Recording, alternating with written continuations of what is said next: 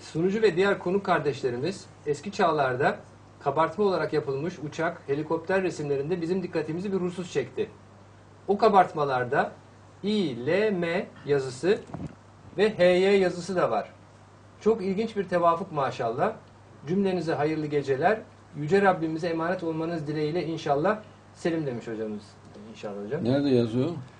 Bu dün gösterdiğimiz e, kabartmalar hocam tapınaklardan alınan. Evet şu helikopter resmi demiştik. Evet, Ama şu tank hakikaten bak e, namlusunu görüyorsunuz değil Evet. mi? Üst korumasını görüyorsunuz. evet hocam. Vücudu gövdesi tam tank.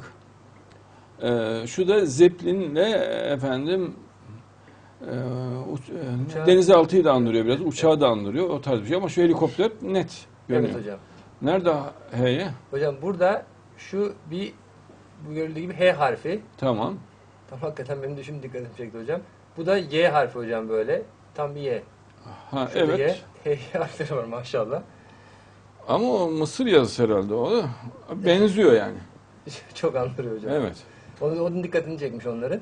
Burada da hocam e, bunu bir e, İ harfi olarak hakikaten İ'ye benziyor şu şekilde. Şu bak- Böyle alındığında. Hayır, şu birinci harfi almış hanım kadar. Evet. Şu gövde, şu i'ni, evet öyle yani bir majeskül harf gibi almış. Yani Bu süs İ. L al- olarak bulunduğunu. Evet. Bunu da e, M harfi olarak. İlim mi İlim, olmuş? Ha, evet. ilim.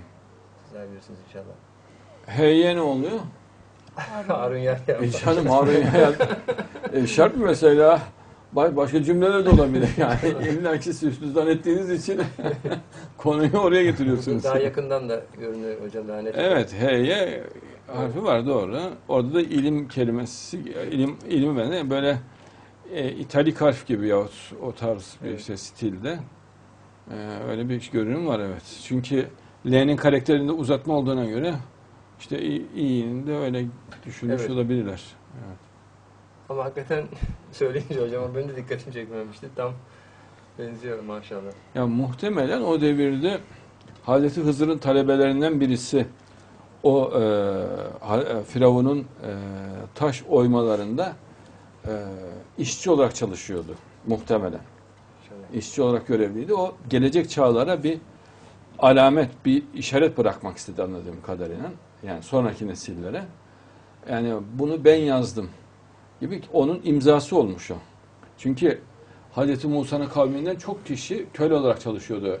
Ee, Firavun'un mabetlerin yapımında ve bu taş işçiliğinde, taş oymalarına çalışıyorlardı. Ee, Birçok taş işçisi vardı. Biliyorsun e, Hazreti Hızır da taş ustasıydı. Maşallah. evet. Duvarcı ustasıydı, taş ustasıydı. Ee, belki onun talebelerinden birisi. Belki değil de öyle gibi görünüyor yani İnşallah. Ee, 3000 yıl öncesinden, 3000 küsür yıl öncesinden bu çağa bir işaret bırakmış. Biz her şeyi biliyoruz gibisinden Maşallah. inşallah. İnşallah. Oraya kayaya yazmış. Ee, diğer Firavun'un işçileri de çalışmışlar ama o ayrı bir yerde üst e, bu sütunun üst kısmında, en üst kısmında ben biliyorum. Yani yüksekçe bir sütun bu, çok yüksek bir sütun. En üst kısmında hiç dikkat çekmeyecek yani insanların müdahale edemeyeceği bir yere bunu yazmış. Ee, bunu nakşetmiş.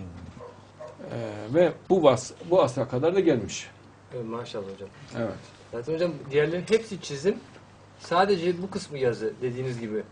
Ya bunların hepsi şekil yapmış buraya normalde. Yazı olmayabilirdi siz daha bilirsiniz inşallah. Sadece buraya dediğiniz gibi yazı konmuş özel olarak sanki. Evet. Yani sanki değil inşallah dediğiniz gibi inşallah maşallah.